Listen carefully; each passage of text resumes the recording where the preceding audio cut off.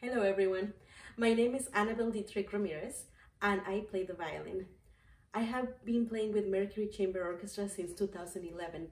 I fondly remember my first concert with Mercury being Beethoven's first symphony that started the uh, cycle of the Beethoven symphonies.